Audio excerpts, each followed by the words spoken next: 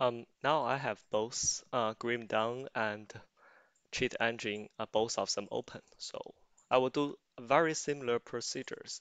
First of all, I will first select the Grim Dawn, basically import the Grim Dawn into the Cheat Engine.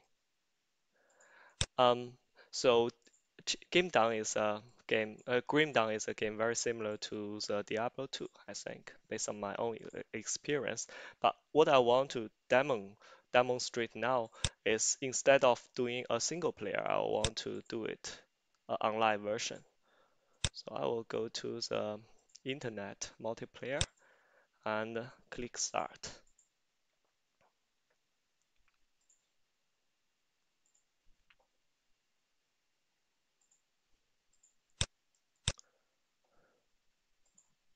So this is a new character I just uh, established.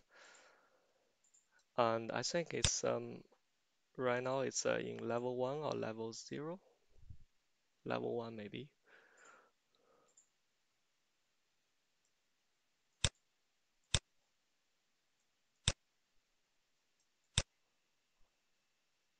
Similar to Diablo 2, um, this bar is demonstrates the current experience. The current experience is 5.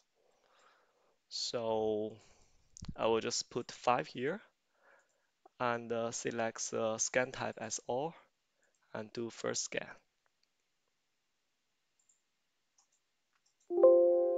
Okay, so these are all the values associated with, these are all the memory address associated with the value 5.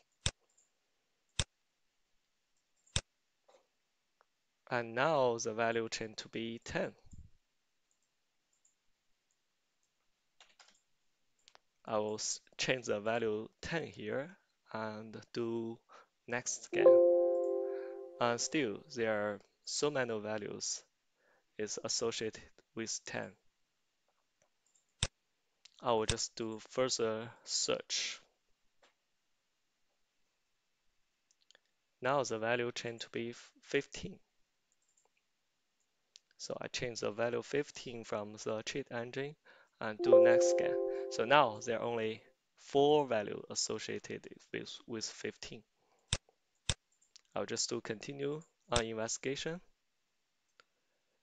And now the experience become 25. And as you can see here, all these values previously has a value of 15. Now the value has changed to be 25. So these five values are, are related with the experience. And I will change all these values so that I can have this character gain a lot of experience. Uh, now I will just make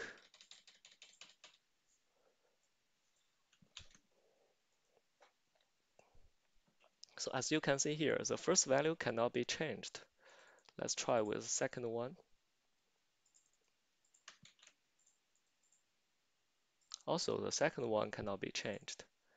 Let's try, oh, maybe this is the second one. Okay, looks like by changing the second one, uh, both value has been changed to certain numbers.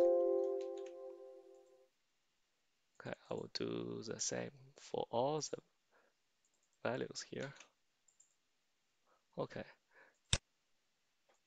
Um, so as you can see here, now the values current experience is minus something and uh, experience until the next level is minus something.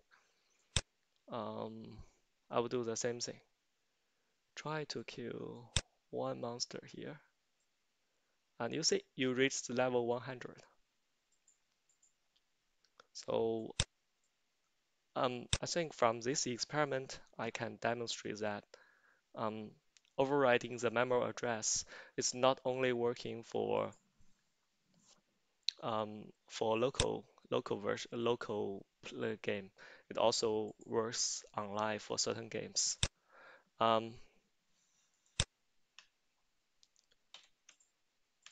Um, lastly, I want to demonstrate how to change certain values in the game of Empires.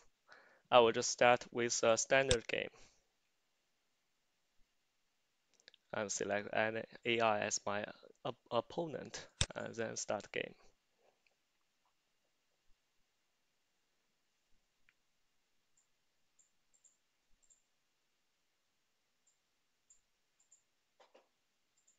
So the value I'm going to change is this um, wood stockpile and the food uh, food stockpile, food and wood.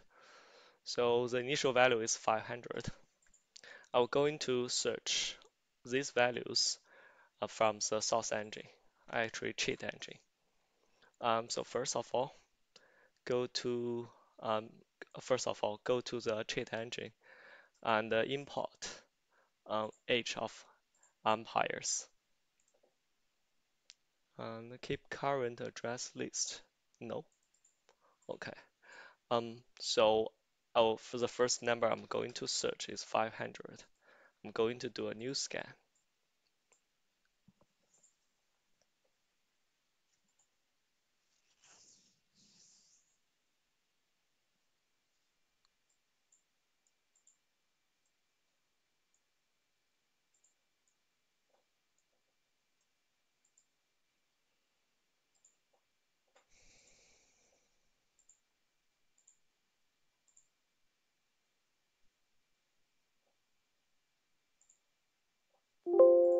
Okay, here are all the 500s get shows up.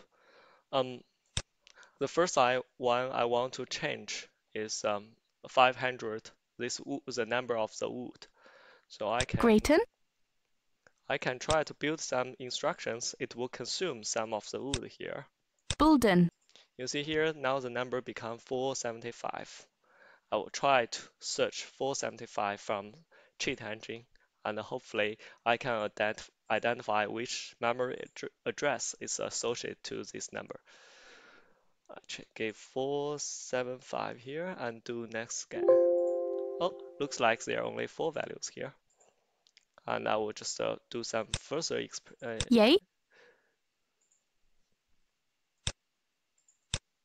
Bulden.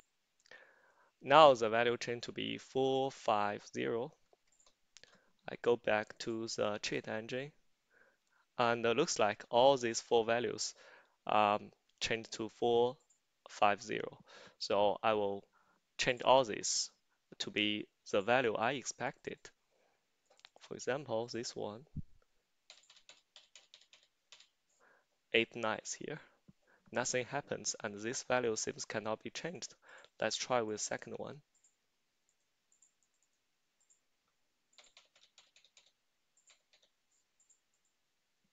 Still cannot be changed. Let's try with third one.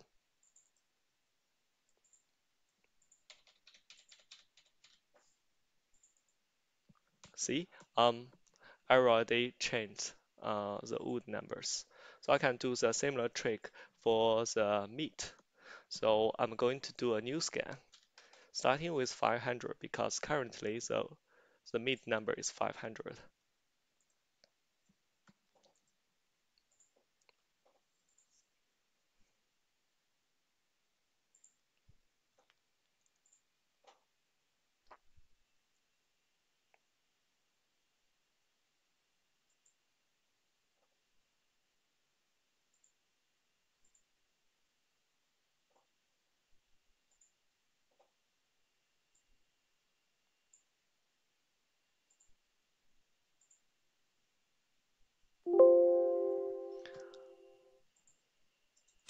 Uh, now I can just uh, by change this 500 to be another value by producing some villager.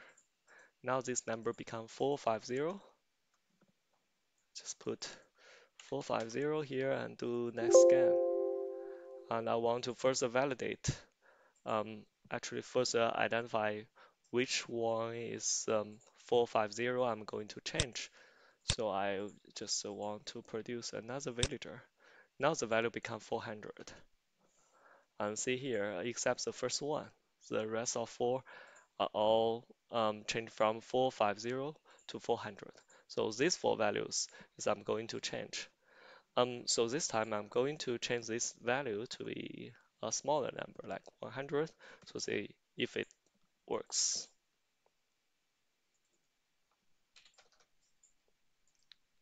So the first one doesn't work.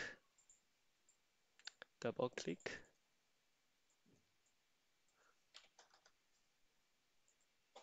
The second one doesn't work.